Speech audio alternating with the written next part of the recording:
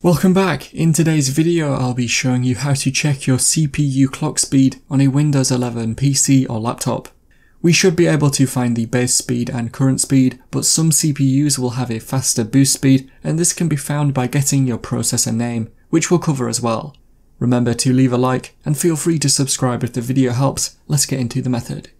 We can check CPU speed a number of ways, but we'll be getting it via the task manager, so head here first. You can get to the Task Manager by right clicking on the Start menu icon in the taskbar and then by choosing Task Manager from the list. In the Task Manager, go to the Performance tab, which should be the second option. In here, click on CPU, which should be at the top of the list.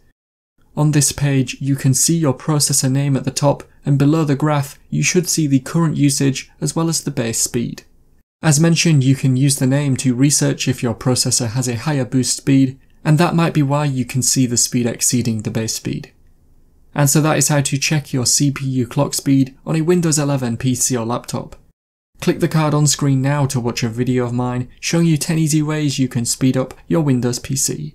Help support the channel by visiting the store, the link is in the description and at the end of the video.